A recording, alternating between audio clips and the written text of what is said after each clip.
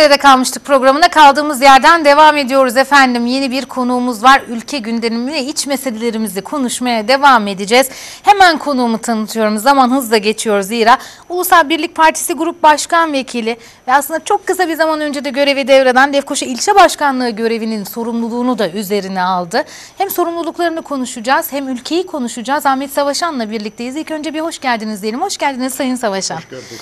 Hayırlı olsun demek istiyorum her şeyden önce. Büyük sorumlulukları da üzerinize alıyorsunuz. Tam da zor zamanlardan geçerken ülkenin içinde de yaşadığımız bir takım aksamalar ve açığa çıkan olaylar var. Hepsine e, sırayla yer vereceğiz ama ilk önce hayırlı olsun diyorum ve e, sorumluluk arttıkça aslında yapılması gerekenlerin üzerinde hissettirdiği de farklılaşıyor. Biraz buradan başlayalım.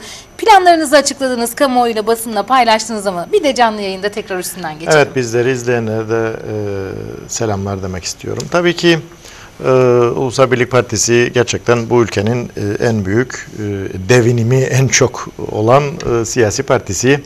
Bu ülkede e, herhalde nereye sahip olmuş isek e, altında imzası olan parti demekte e, doğruluk payı yüksektir.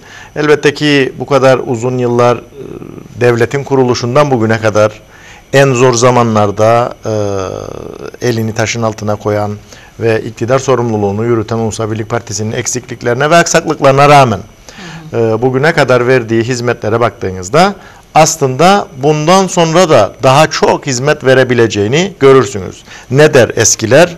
Derler ki aynası iştir kişinin, lafa bakılmaz. Dolayısıyla bazı siyasi partiler lafla, laf cambazlığıyla e, övünürken ya da laf cambazlığını kardan sayarken Ulusal Birlik Partisi gerçekten çok uzun yıllardır bu ülkenin en önemli konularına çok önemli katkılar yapıyor. Dediğim gibi yani beni zaten izleyenler de sizler de e, yakının tanırsınız. E, ben böyle popülist yaklaşımlardan uzak e, durmaya çalışan bir arkadaşınızım.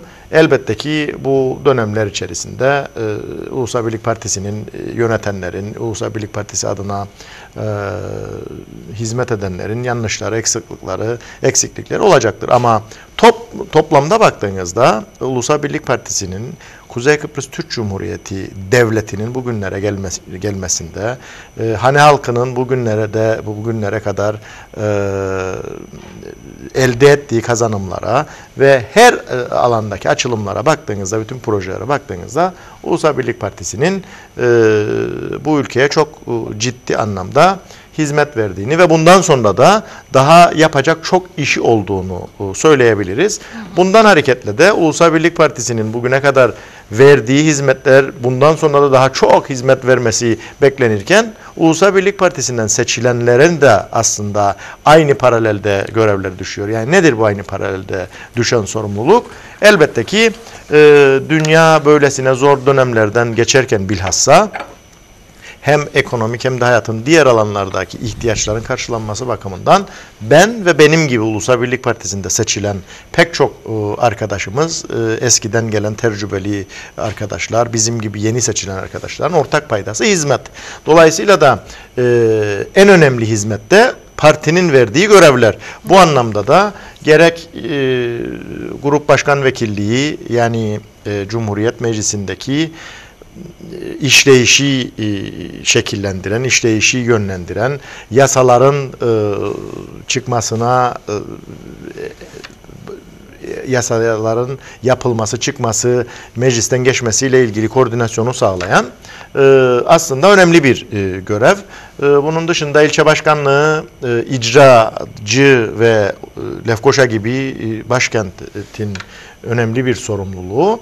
Dolayısıyla hep bunlar aslında bizim asli görevlerimiz. Günün sonunda parti e, bu gibi görevleri verdiğinde ben ve bütün arkadaşlarım da e, bunları seve seve kabul eden ve üzerine düşen sorumluluğun farkında olarak e, çalışmalar e, yapmaya çalışan e, insanlarız. Bizlere de e, işte gerek MYK ile ilgili e, MYK'nın ilçe başkanlığıyla ilgili aldığı karar, gerekse de yine e, partimizin grup başkan vekilliğinde verdiği e, karar bizlere daha fazla sorumluluk, daha fazla hizmet etme fırsatı sunuyor. Bir taraftan sorumluluk veriyor, bir taraftan da aslında aldığımız oyları hak etme bakımından işleme, üretme noktasında da büyük bir e, sorumluluk e, da yüklüyor. Dolayısıyla biz e, bunları hak etmek için da yani özelde partilerimizin verdiği oyları hak etmek için, hı hı. genelde ise e, milletvekilliğinin verdiği sorumlulukla ülkenin ihtiyaç duyduğu yasaların yapılması için e, daha sorumluluk üstlendik.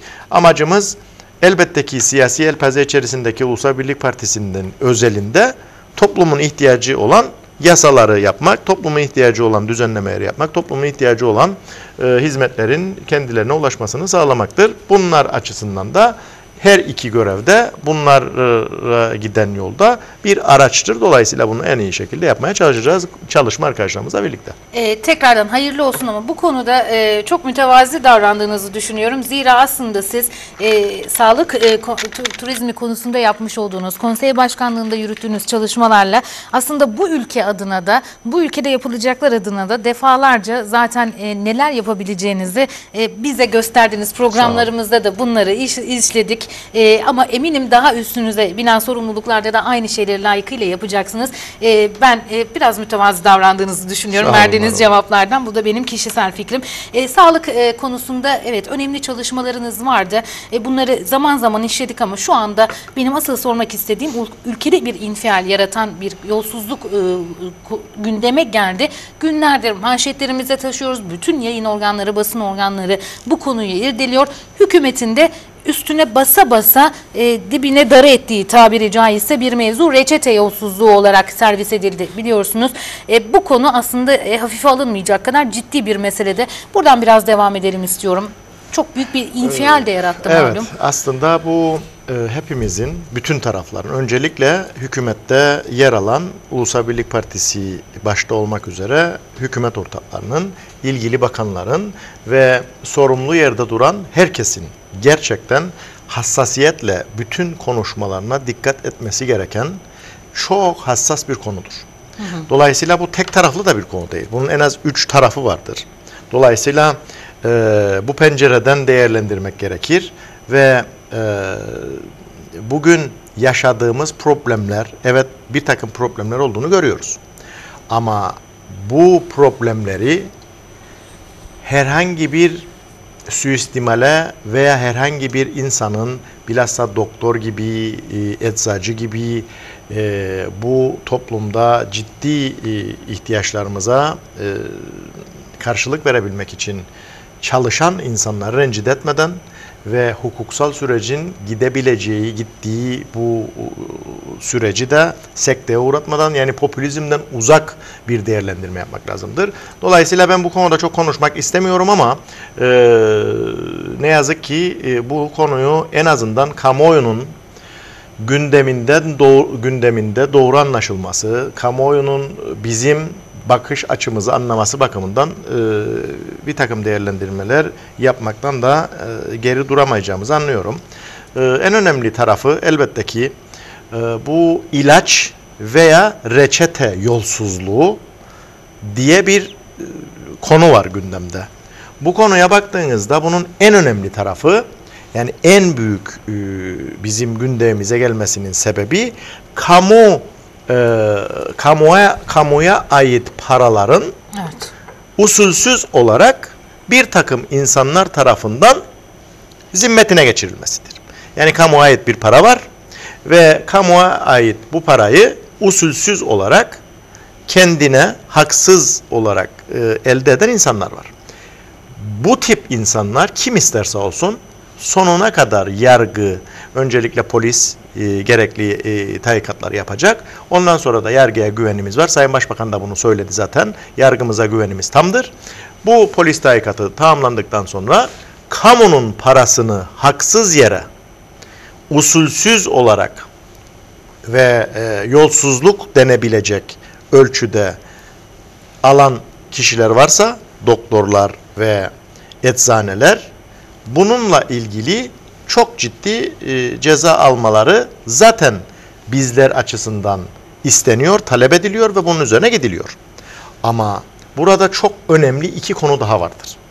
Bir tanesi altını çiziyorum. Kamunun parasını yolsuzlukla kendi tarafını alan, kamunun parasını kendisi haksız olarak eczacı doktor ilişkisiyle bu ülkeyi soyan, tırnak içinde söylüyorum, birileri varsa bunun en ağır şekilde cezalandırılmasını biz Ulusal Birlik Partisi olarak da net olarak istiyoruz. Hı hı.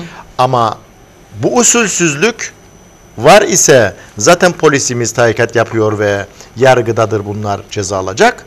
Ama iki, iki boyutu daha var bu işin. Bunu kimse unutmasın. Bakın bu ülkede ne yazık ki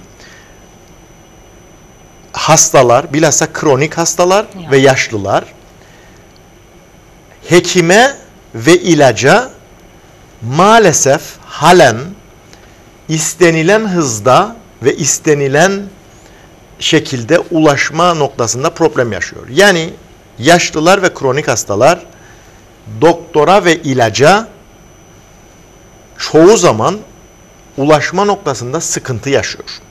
Ve dolayısıyla da bizim yasalarımıza göre bir hekim bir hastayı görmeden reçete yazamayacak bir düzenlememiz var. Yani bir doktor bir hastaya görerek gördükten sonra muayene ettikten sonra ilaç yazabilir, reçete yazabilir. Bu bizim bir düzenlememiz. Doğru. Ama bir de gerçeğimiz var.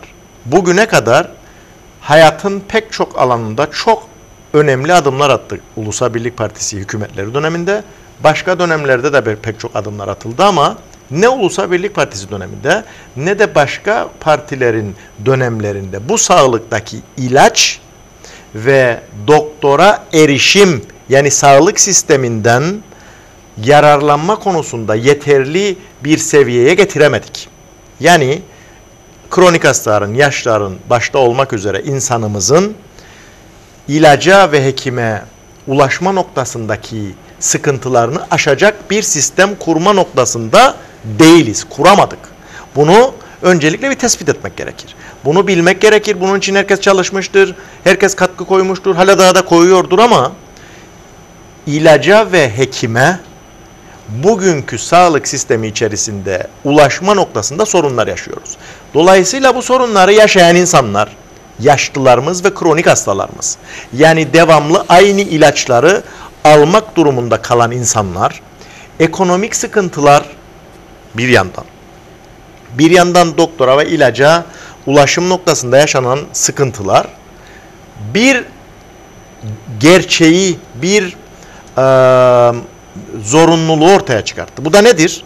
Böyle küçük bir ülkede yaşlı veya kronik hastanın doktor bir defa muayene ettikten sonra biliyor hastalığının yani yüksek tansiyon hastasının veya kronik kalp hastasının veya işte e, kanser hastasının gibi bunun gibi kronik veya yaşlılığa bağlı bir takım kronik ve iyileşmeyecek hastalıklarda her zaman alınan ilaçlar vardır değil mi?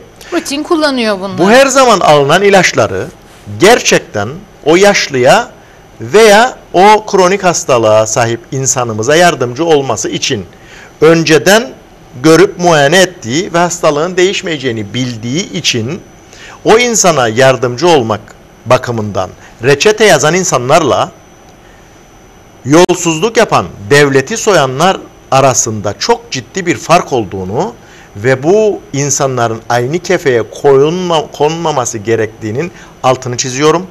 Bizim Ulusal Birlik Partisi olarak bu konuya çok ciddi hassasiyetle yaklaştığımızı sizler vasıtasıyla insanımızla e, paylaşıyorum.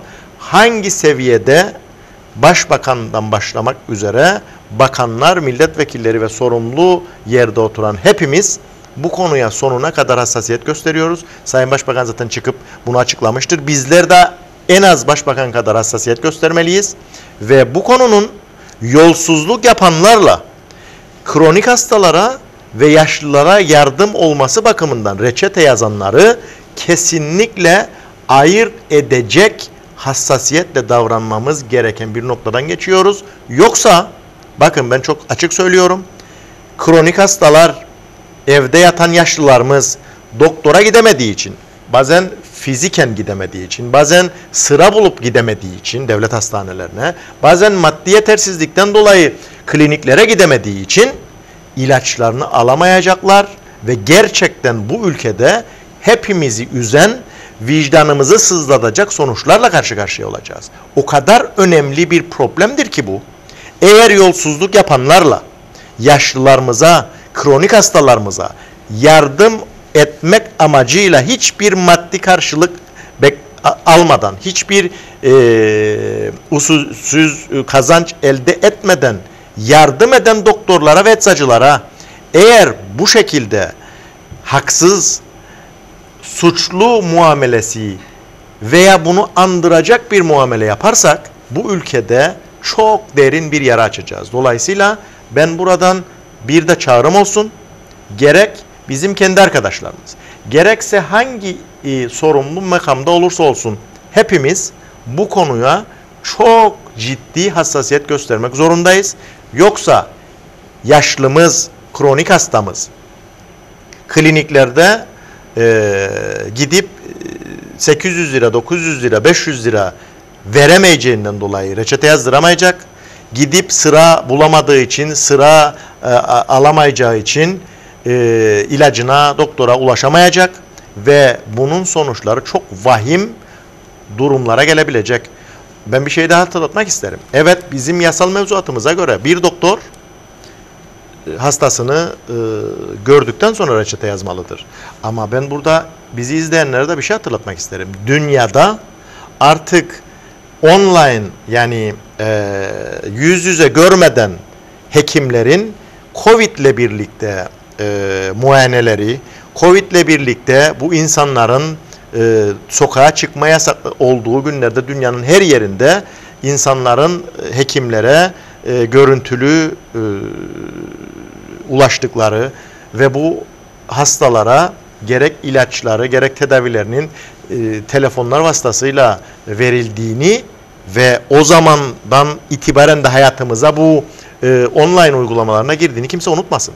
Bizim mevzuatımıza göre evet bir problem yaratıyor.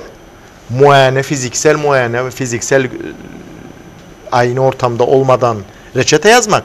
Ama bu da zaten bizim üzerimize düşen bir sorumluluktur ki bu düzenlemeleri yapalım. Dünyada zaten biz dünyanın kapalı olduğu zamanlarda hastanın hekime gidemediği dönemlerde bunu görüntülü yapmışız. Bütün dünya yapmış. Doğru. Bütün dünya hastaları aramış, telefonlardan görmüş, muayenesini de belki elle e, yapamamış ama insanların hastalıklardan korunması veya hastalığını atlatması yönünden bu bakımdan e, doktorlar insanların reçetelerini yazmış, insanların e, e, tedavilerini planlamıştır. Dolayısıyla bizler de bu ülkede bu sağlık sistemini, ilaç takip sistemi başta olmak üzere sağlıkta ilaca ve doktora ulaşma noktasında gelmemiz gereken noktaya gelemediğimizi bilerek doktorları ve eczacıları insanlara yardım edenlerle usulsüzlük ve yolsuzluk yapanları ayırt edecek bir pozisyonda olmak zorundayız. Yoksa suçsuz yardım etmek için insanımızdan e, insanımıza yardım eden, kronik hastamıza, yaşlımıza yardım eden doktorlara ve eczacılara yazık ederiz ve bu toplumda gerçekten yarası çok e, zor kapanacak e, sonuçlar doğar. Dolayısıyla bunu kesinlikle ve kesinlikle göz önüne tutmalıyız ve mutlaka ve mutlaka bu ayrımı her noktada yapmalıyız. Vicdanı olarak da yapmalıyız kamuoyunda da yapmalıyız ve bunu hukuksal olarak da bu gözle bakmak zorundayız. Yoksa bunu yapmazsak iyilikten maraz doğar derler. İyilikten maraz doğurmam, doğurmamalıyız. Çok hassas bir konu. Bu çok, çok hassas, hassas bir konudur. Bir konu. Her noktada bakın altını çizerek söylüyorum. Sayın Başbakan çıkıp bunu net olarak söylemiştir. Konu yargıdadır. En hassas şekilde inceliyoruz demiştir. Bu kadar. Günün sonunda bundan herhangi bir siyasi kazanç, bundan herhangi bir siyasi cezalandırmayı getirecek konuşmalar ve insanları rencide edecek, insanları iyilik yapan insanları cezalandıracak ya da kamuoyu önünde suçlu gösterecek bütün e, konuşmalardan ve e, davranışlardan uzak durmalıyız. Çünkü dediğim gibi çok hassas bir konudur. Biz yıllardır bu ülkeyi yönetenler gerek Ulusal Birlik Partili dönemlerde gerek Cumhuriyetçi Türk Partisi gerekse diğer partiler bu ülkede doktora ve ilaca erişim noktasında yapılması gerekenlerin hepsini yapamamıştır. Çok ciddi bir sıkıntı vardır bu doktora ve ilaca erişim konusunda. Bu sistemi kuramadığımız için bir takım e, kendiliğine oluşan iyi niyetli uygulamaları suistimal etmeye yönelik kesinlikle hiçbir e, adım atmamalıyız. Bunu çok dikkatle e, ele almalıyız. Onun dışında bu konu elbette ki e, hukuksal bir konudur. Suçu kanıtlanmadan ifadeye çağrılan insanları, bütün doktorları ve ifadeye çağrılan bütün eczacıları suçlu asla kabul etmemeliyiz. Suçu kanıtlayana kadar herkesin suçsuz olduğunu hatırlamalıyız. Bu çok önemli ve insani bir sorumluluğumuzdur. Doğru. Siyasi bir sorumluluğumuzdur. Dolayısıyla buna hepimiz başta siyasiler olarak hepimiz hassasiyet göstermeliyiz. Yoksa dediğim gibi bu toplumda öyle bir yer açılacak ki geriye dönmesi mümkün olmayacak. Ben bunu söylerken konuşmamın başında söyledim.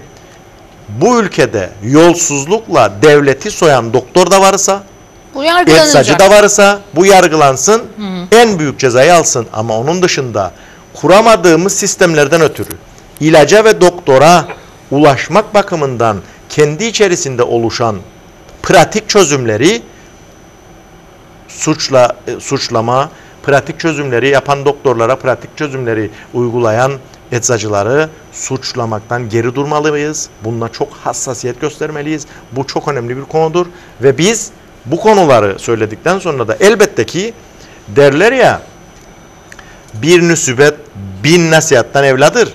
Artık bu ülkede çok süratle ilaç takip sistemi ve e, işte e-devlete bağlı buna benzer bir takım e, dijitalleşmeye bağlı uygulamaları hayatımıza çok süratli kazandırmalıyız. Bunun için Sayın e, Başbakan ve ilgili bakan, Sağlık Bakanı ve ekipleri bu çalışmaları çok süratle bitirme e, konusunda kararlı olduğunu ben görüyorum. Buradan da paylaşmak istiyorum ama bugün bu maalesef eksiktir ve bu eksiklikten kaynaklanan iyi niyetli uygulamaları mutlaka gözetmeliyiz. Aksi takdirde çok büyük problemlerle karşı karşıya kalabiliriz. Ee, insanımız, hastalarımız ve yaşlılarımızı ilaca ve hekime ulaşma noktasında kurulan pratik e, uygulamaları olduğunu göz ardı etmeden bu konuda gerçekten ciddi bir ayrım gözeterek Burada galiba biz basın mensuplarının da üzerine çok büyük sorumluluk hepimizin düşüyor. düşüyor. Başta siyasilerin ve basın mensupları olmak üzere hepimize Aynı görev düşüyor. Hepimiz bu hassasiyeti göstermek zorundayız yoksa büyük problem olur. Bizim üzerimize düşen hükümet olarak elbette ki artık bir daha böyle bir suistimalin yaşanmaması için ilaç takip sistemi çalışmaları zaten devam ediyor. Süratle bitirmek ve bundan sonra adam Karpaz'da mı yaşıyor?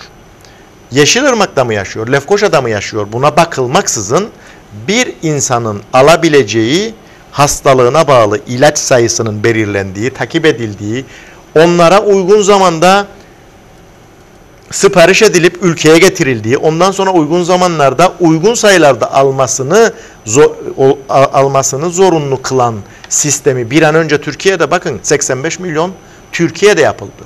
Erzurum'da mısınız, Kars'ta mısınız, Ankara'da mı, İstanbul'da mı fark etmez. Bir kutu Panadolsa hakkınız, herkes anlasın diye Panadol söylüyorum. Bir kutu Panadolsa hakkınız, ikinci kutuyu Van'da yaşarken İstanbul'a gidip bir eczanede alamıyorsunuz. İşte bu ilaç takip sistemiyle olan bir şeydir. Bu sadece insanların ilaca doğru miktarda, doğru zamanda e, e, ulaşmasını sağlamakla kalmıyor. Devletin de giderlerinin doğru yere harcanmasını. İki kutu çünkü bakın israf sadece e, expire olan yani son kullanma tarihi geçip de atılan ilaçlar değil ya.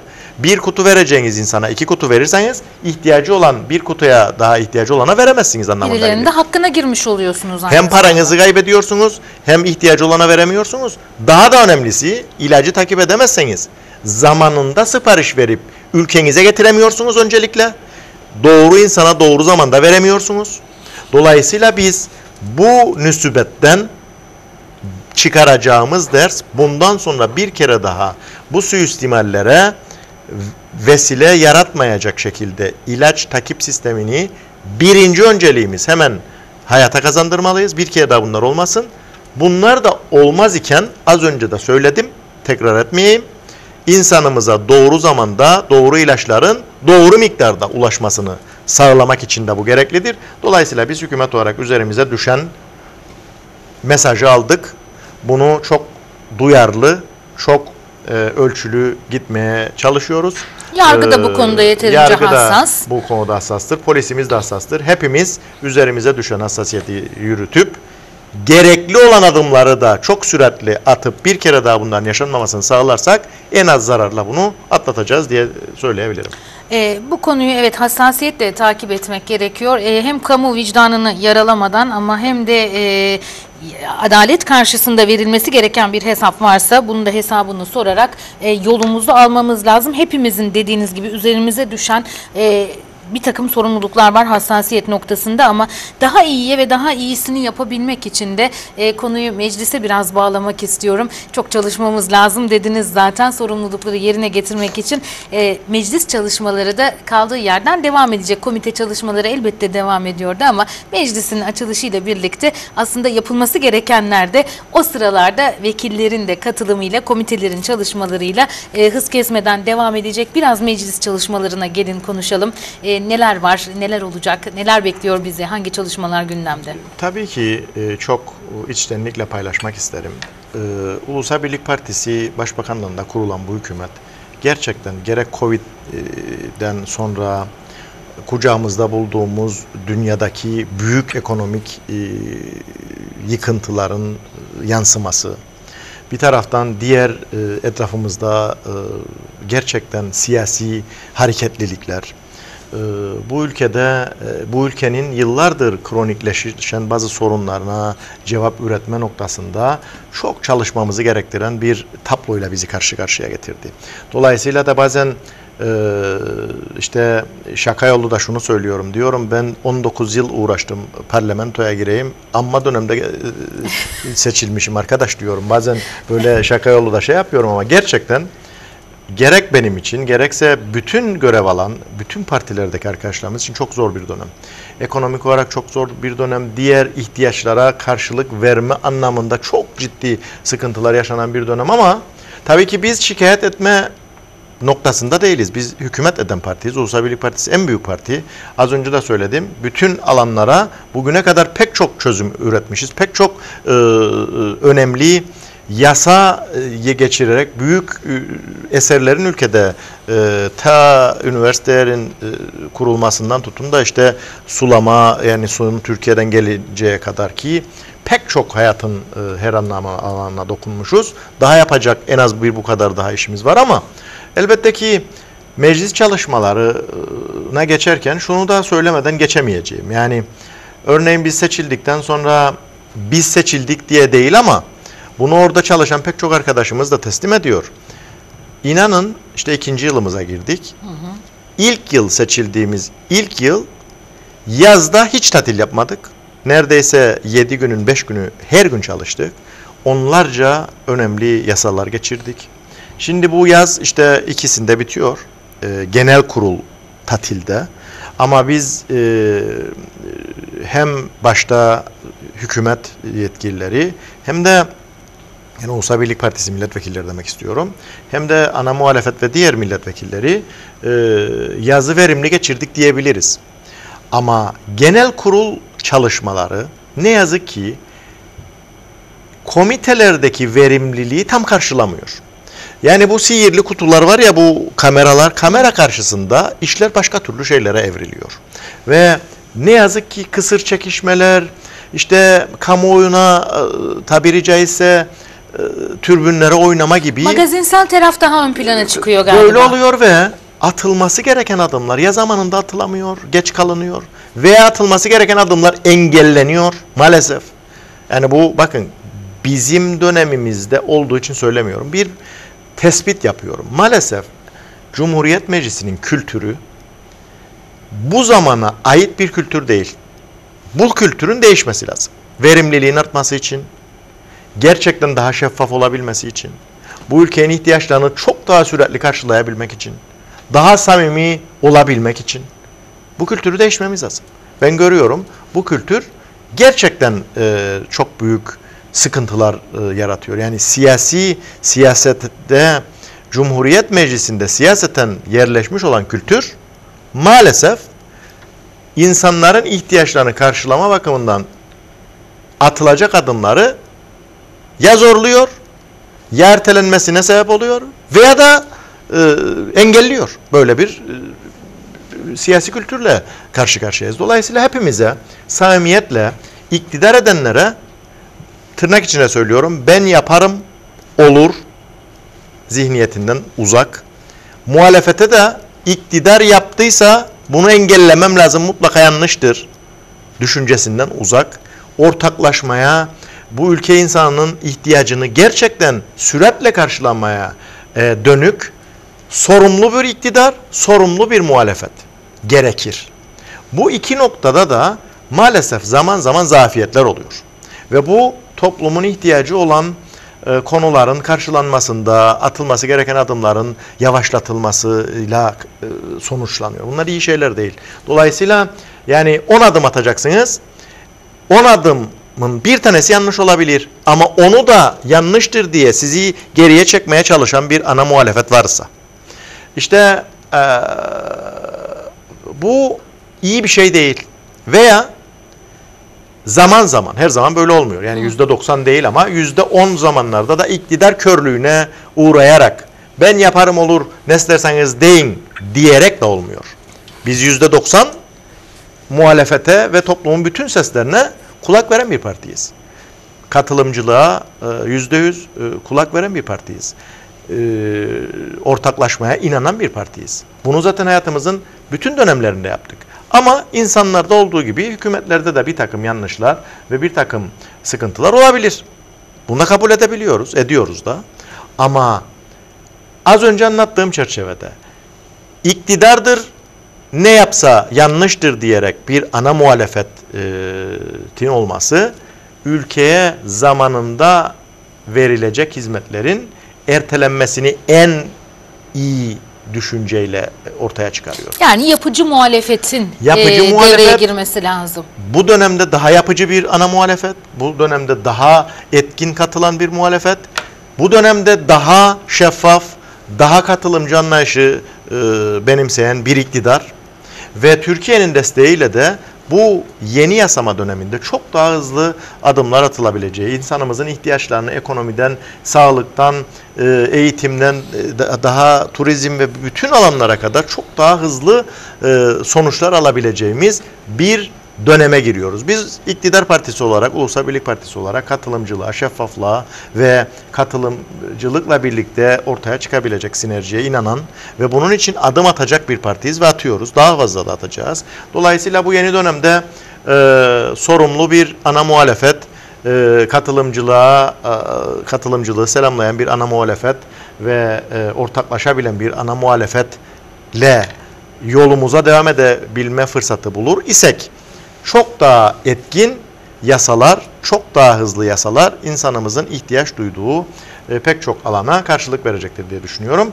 Hatırlatmakta fayda görüyorum. Yaz aylarında 10 yıllardır çalışılan ve tıpkı yine 10 yıllardır çalışılan e, belediyeler yasasında olduğu gibi belediyelerin birleştirilmesi, hizmet alanının genişlemesi ve yavaş yavaş artık belediyelerin insanlara daha etkin hizmetler vermesi noktasındaki önemli e, adımları kamu e, yataklı tedaviler kurumlarında yani insanların hastanelerde aldığı hizmetleri sunanlar anlamında. Doktorlardan, hemşirelerden, hasta bakıcılardan, e, teknisyenlerden, mühendislerden yani bütün sağlık sis- sistemin içerisinde çalışanlardan çalışanlarla ilgili olan bir e, yataklı tedaviler kurumları yasası vardı ki 10 yıllardır çalışılıyor. Pek çok insan katkı koydu ama siyasi irade gösterilemediği için geçemedi. Yaz aylarında 11 yasayla birlikte geçirdik biz bu yasayı. Bakın bu en önemli yasalardan yani insanların şimdi işimizde biraz sağlık konuştuğumuz iş sağlık olduğu için oraya bağlıyorum.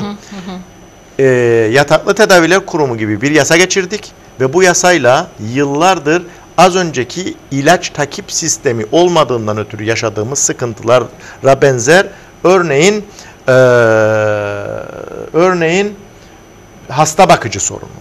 İnsan annesini babasını sevdiği bir e, hastasını, yaşlısını hastaneye yatırıyor ve bizim yataklı tedaviler kurumu içerisinde hasta bakıcı kadrosu olmadığı için insanlar hasta bakıcılarını dışarıdan para ödeyerek buluyor. Çok ciddi problemler yaşanıyor, çok ciddi paralar ödeniyor, karşılığı alınamıyor ve devlet içerisinde insanları e, sosyal sigortaları, sosyal sigorta ödemesine rağmen sosyal haklarıyla sağlık hizmeti alabilme noktasında hakkı olmasına rağmen ciddi paralar ödeniyor ve dışarıdan insanlar getiriyor. İşte bu yasayla 100 e, 100 tane hasta bakıcı Mausa'ya, Girne'ye, Lefkoşa'ya, Güzelyurt'a bütün kurumlarımıza e, hasta bakıcılar istihdam edilecek ve bu yıllardır kronikleşen ve insanımızın hem maddi hem manevi ihtiyacı olan hasta bakıcı sorunu tarihe kavuşacak. Bunu ne zaman yaptık? Yaz aylarında komitede yaptık. Ulusal Birlik Partisi Başbakanlığındaki bu hükümet yaptı. Başka ne oldu bu şeyle? Yoğun bakım ve acil servislerde çalışan insanlar daha nispeten e, poliklinikte çalışanlarla aynı e, haklara sahipti. Bunların haklarını yükselttik ve oralarda doktorun, hemşirenin e, ve diğer e, çalışanların e, haklarını iyileştirdik. Oraları özendirdik. Orada doktor daha tercihen çalışsın e, gibi e, şeyler yaptık. Dolayısıyla sivil savunmadan tutun, BRT yasasından tutun daha pek çok e, konuda çok ciddi yasalar e, geçirdik ve yaz aylarına geçirdik. Durmadık, çalışıyoruz, çalışmaya devam edeceğiz. Dolayısıyla evet ülkede ihtiyaçlar çok. E, bu ihtiyaçlara cevap verecek çok daha etkin çalışmalar yapma zorunda olduğumuzu da bilerek söylüyorum bunu. Ama verimliliğimiz bu noktada artmaya da ihtiyacı var ama verimsiz çalışmıyoruz.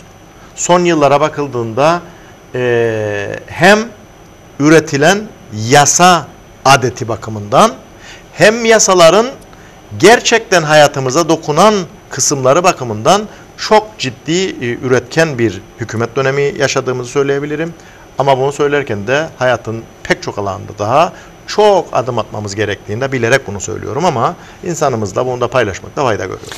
E, yani insan var olduğu ve yaşadığı sürece aslında ihtiyaçlar da e, hasıl oluyor ve bunlara karşı yapılacak adımlar da belirleniyor. Dayanışma ruhu belki bu noktada e, muhalefetiyle iktidarıyla e, birbirimizle dayanışarak ilerlememiz gereken bir dönemdeyiz. Özellikle ekonomi ve sağlık konusu son derece önemli ki yapılan çalışmaları da e, biraz e, zamanımızın yettiğince değinebildik. E, üzerinizdeki sorumluluk gerçekten artıyor ve bunun e, biliyorum ağırlığını hissettiğinizi ama eminim ki bundan sonraki programlarda e, yapılanları da konuşacağız. E, devam edeceğiz konuşmaya ve üstesinden geleceğinize de inanıyorum. Sağ olun. Çok teşekkür ediyorum. 5 Sağ olun, bültenine gideceğiz. Dolayısıyla programı kapatmak zorundayım. E, başarılar diliyorum. Sağ Tekrar olun. hayırlı olsun. Evet değerli izleyenler nerede kalmıştı? Bugün burada tamamlıyoruz efendim. 5 bültenine doğru adım adım ilerlerken yeniden görüşünceye dek hoşçakalın.